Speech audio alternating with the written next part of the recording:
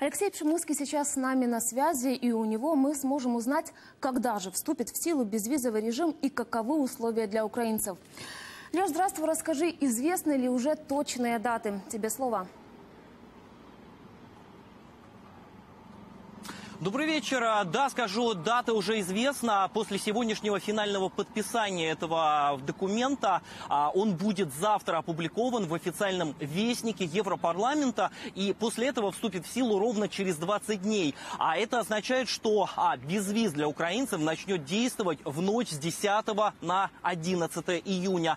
А эту дату нам подтвердил и замглавы администрации президента Константин Елисеев, что именно 11 июня с 11 июня украинцы смогут ездить в Европу без виз. Отмечу, что а, он, конечно же, назвал это большим достижением, однако, по словам Елисеева, а, без виз это лишь начало интеграции Украины в Евросоюз.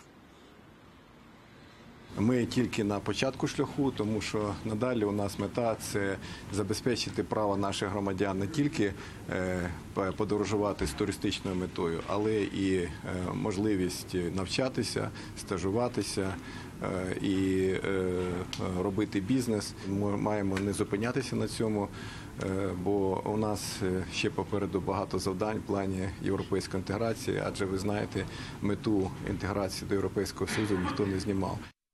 Cheers.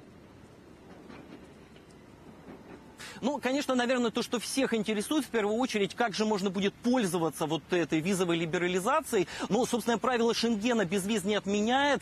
А для того, чтобы поехать в Европу без визы, нужен будет биометрический паспорт. Но, э, тем не менее, пограничники смогут потребовать а, билеты, брони отелей или, например, выписку из банка. Ну и, конечно же, без виз не дает права на работу. Но скажу вот то, о чем сегодня много здесь говорили в Страсбурге, это, конечно же, что вот такое достижение для Украины долгожданное не должно стать концом реформ. И если Украина а, э, не будет проводить преобразование, не будет бороться с коррупцией, а не будет защищать свободу слова, на этот случай а, в Европе приняли так называемый механизм приостановки без виза, а, и его смогут в таком случае задействовать. Но, конечно же, скажу, что пока что все ждут 11 числа, а, ну а для Украины следующей большой датой станет саммит Украина-ЕС, который пройдет в этом году в Киеве, и его даты будут известны уже в ближайшие дни. Студия.